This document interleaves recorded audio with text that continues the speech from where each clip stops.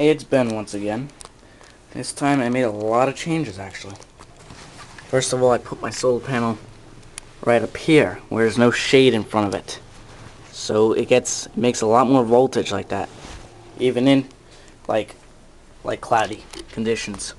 And then as you may see, it goes of course it goes right through here into my charge controller. And I moved the big car battery. Actually now it goes under my little table here into this car battery. And then all the the negative goes in there and then the positive goes in there. Well, and then when it comes out, the positive goes into this little breaker I have here. So it's like I use the breaker as a switch, and I got my my one alligator clip which goes into the inverter, and I have my other alligator clip which goes into the inverter again, and then one power line goes into this, which later in like time, like maybe a few days, I'm gonna buy a um little thing that you plug into your cigarette lighter in your car. It, it's from Walmart, and it tells you how much voltage is in the car.